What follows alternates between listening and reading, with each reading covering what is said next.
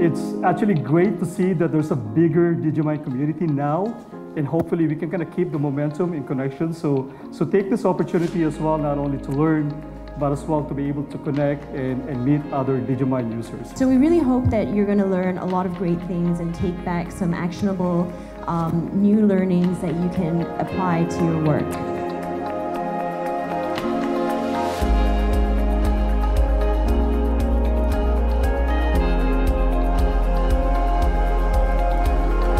What I would like people to take away from this event is that in 2020, customer experience, consumer insights are going to be key for driving marketing strategies and really helping to drive consumer buying decisions.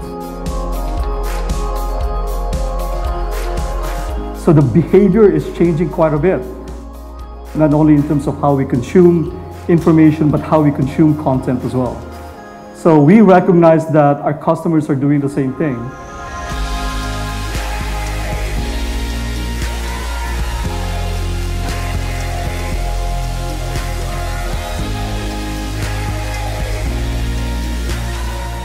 Social media listening has been so helpful because I was able to gain insights that are raw and pure that you may normally find a bit biased from other research methods.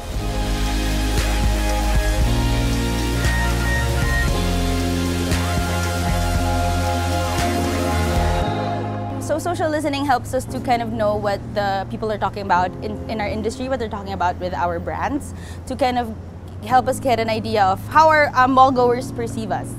So we know what they're talking about us, what they like about us, what they don't like about us. So it helps us to know how we can do our business model or how to do our products geared towards what they like. It helps us boosting or creating our campaigns. It helps us also to know the trends. And pretty much we can get something from there and we can um, do a content about it.